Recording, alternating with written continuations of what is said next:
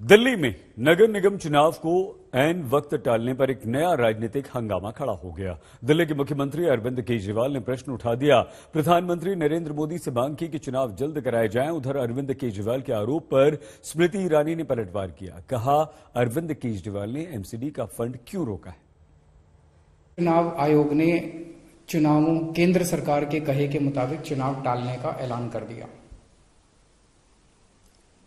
शायद भारत के इतिहास में पिछले 75 साल में आज़ादी के बाद से पहली बार ऐसा हुआ होगा कि केंद्र सरकार ने सीधे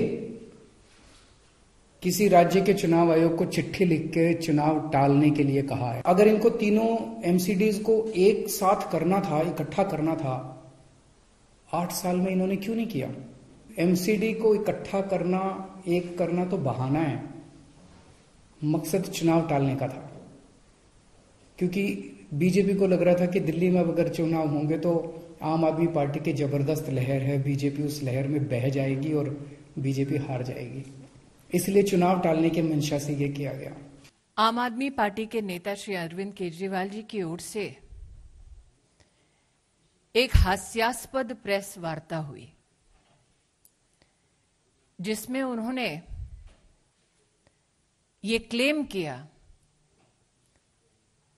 कि पाँच में से चार राज्य हारने के बाद आम आदमी पार्टी की लहर है। हास्यास्पद है कि जिस आम आदमी पार्टी को उत्तर प्रदेश में नोटा से कम वोट मिला,